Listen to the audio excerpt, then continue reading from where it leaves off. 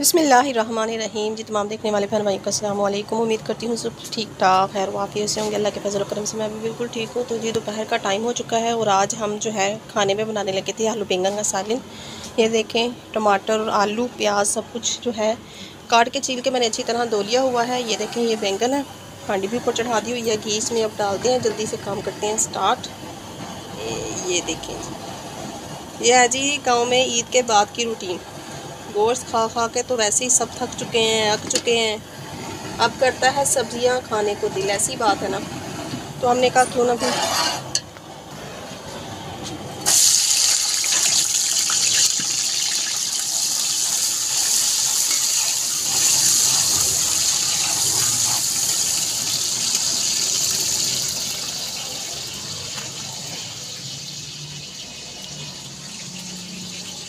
इनको यहाँ से लेते हैं, उठा।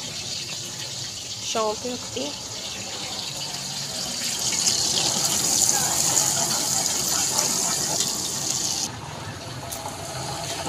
प्याज हमारी हो चुके हैं जी ब्राउन अब हम इसमें जो है ना, मसाला जात सारे डाल देते हैं। वो मैंने इकट्ठी प्लेट में निकाल लिए थे ताकि बार बार जो है मुश्किल ना हो।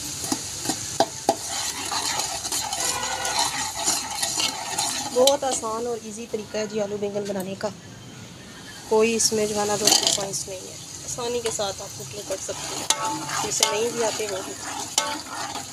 सब कुछ डाला, अभी देखिएगा आप, थोड़ी देर रखूँगी दम पे। सब कुछ गल फल जाना है।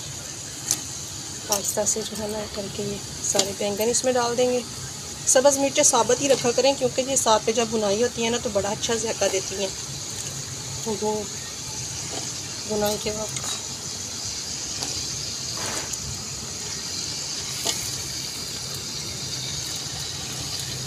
गर्मी बहुत ज़्यादा हो गई है। लोड शेडिंग का सिलसिला भी जारी हो गया हमारे इधर तो ये देखिए जी फाइनली मैंने सारे आलू बैंगन जो है डाल दिए अब इसे जो है ना, थोड़ा रख देंगे वेट पे। बन जाएँगे। आपको थोड़ा मौसम का व्यू करवाती चलूँ मैं कि ये देखें। सूरज का भी दीदार कर लें आप भी। सामने सूरज है। बहुत गर्मी हो रही है। अब देखते हैं जी। ये देखें। थोड़े से नरम हो गए हैं ना। अब ये इसे हलाने में ज़रा आसानी हो जाएगी इस तरह। और ये सब्ज़ी का खुद ही छोड़ा हुआ पानी है। इसी में मैंने जो है ना इनको पकाना है। दूसरा पानी ना डाला करें। जिससे जो है ना सब्जियों का जायका भी मर जाता है और इनके खुद के छोड़े हुए पानी में ही इनको पकाया करें। बहुत लजीज बनती हैं।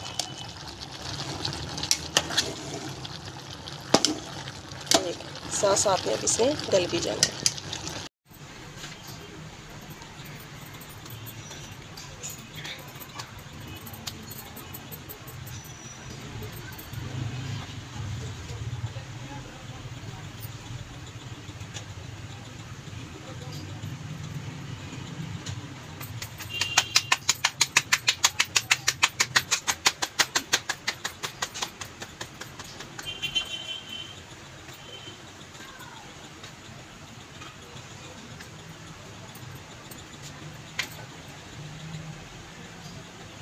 सालन हमारा बन चुका है। फाइनली लुक लगे कि सालन की मसाला से। मैंने कहा चलिए, अब साथ रोटी भी बन है।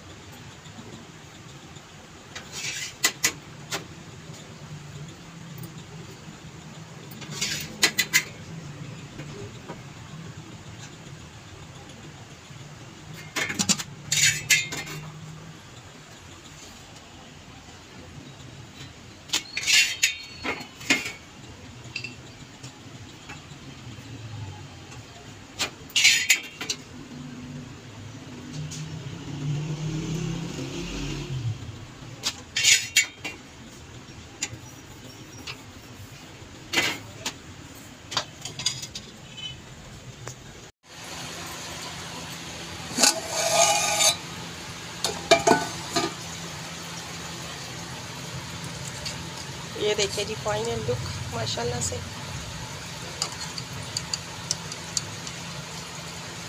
डालेंगे जी इसे रोटी पर।